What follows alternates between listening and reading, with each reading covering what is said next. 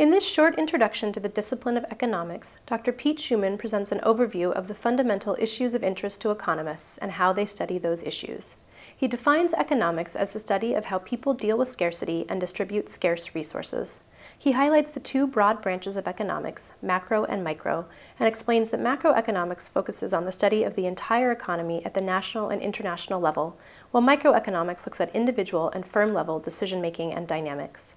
He notes that economists use key concepts like opportunity cost to understand trade offs in decision making, and that questions of interest for economists arise by thinking at the margin.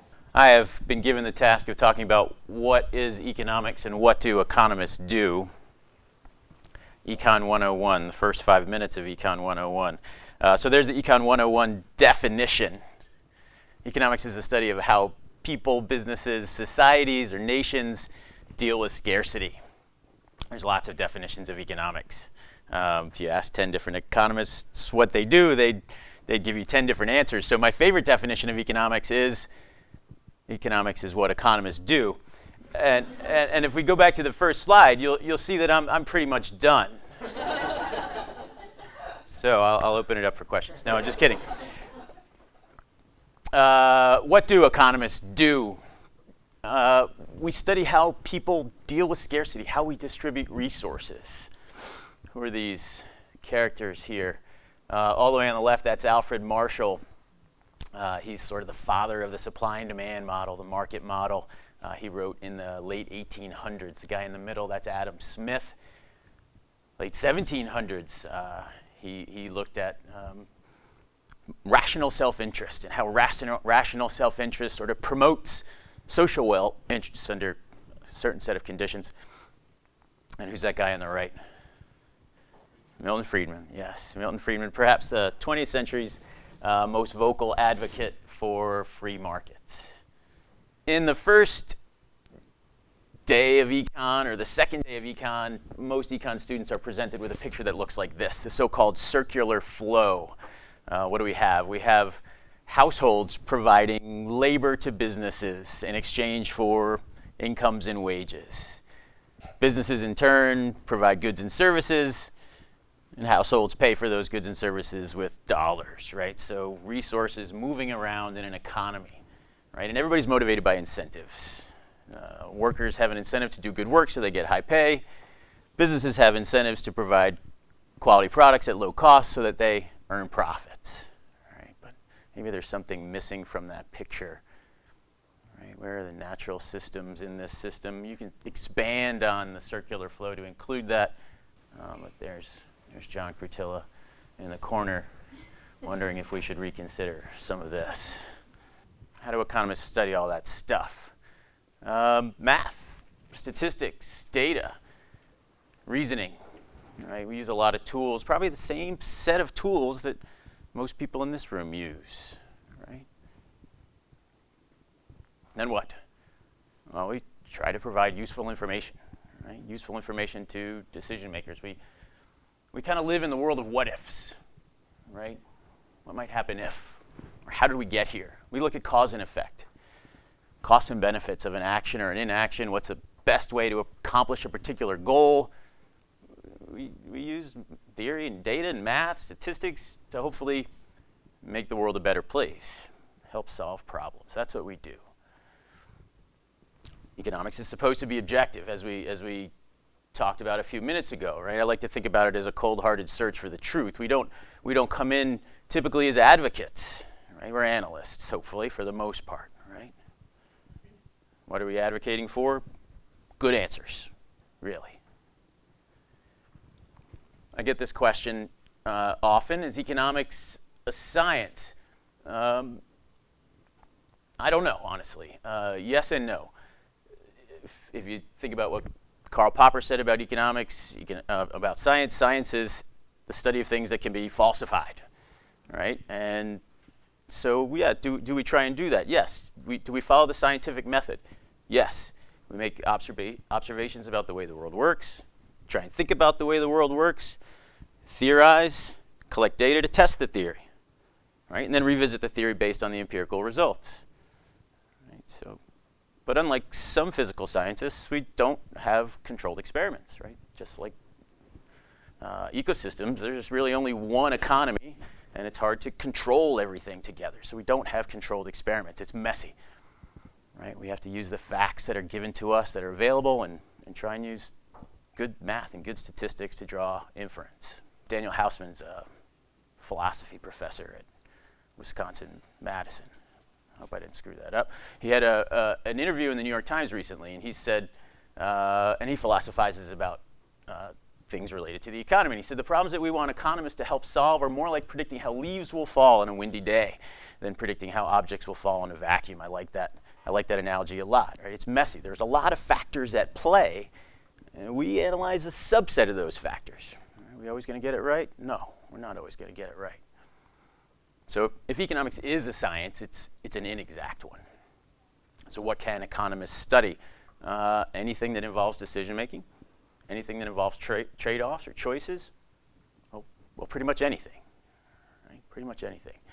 This is the Journal of Economic Literature classification, classification of fields in economics. So if you can read the font, we haven't used up all the letters if you go through, but we're getting close.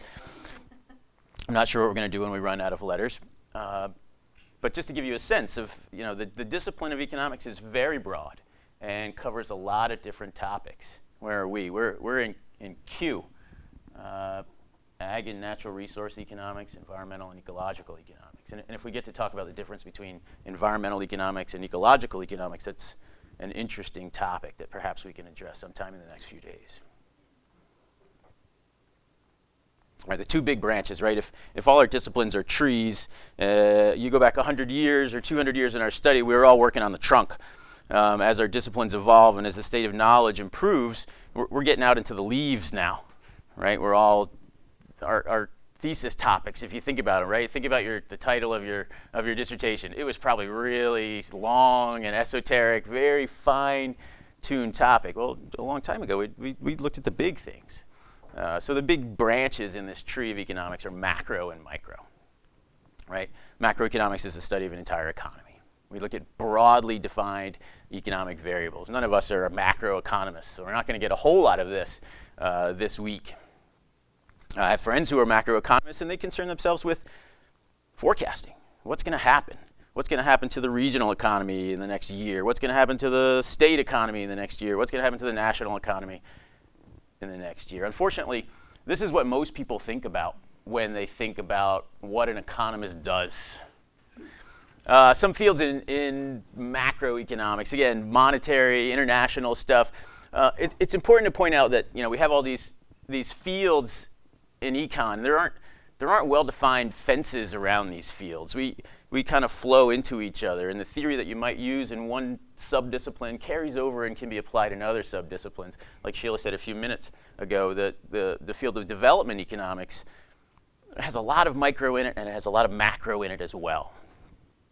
Microeconomics, uh, fine-tuned look at the way people behave and interact, and trade things. An analogy that I like, if if the economy is a forest the macroeconomist is flying over the forest in, a, in an airplane, sort of take, getting a sense of the big picture.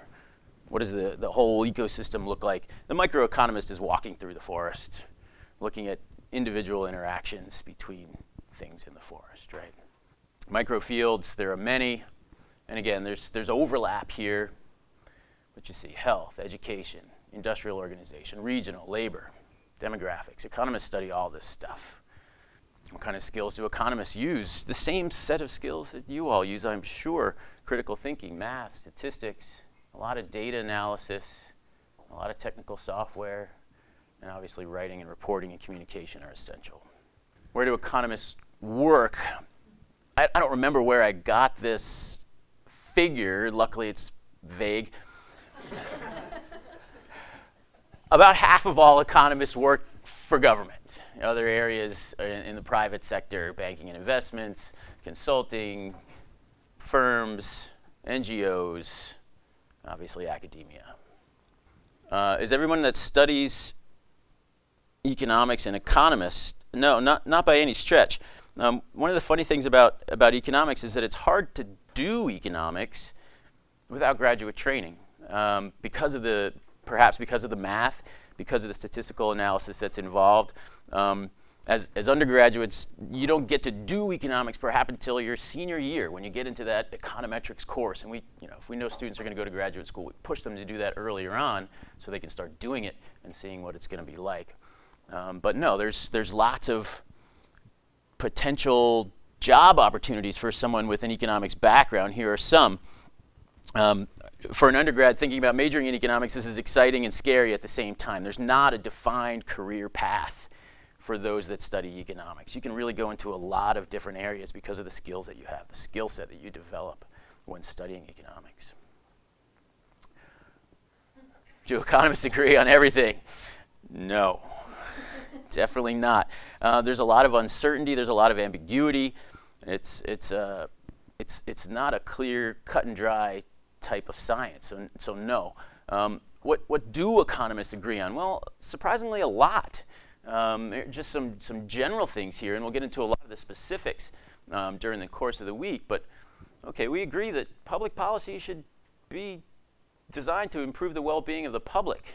We, we agree that people respond to incentives. We agree that voluntary transactions are good.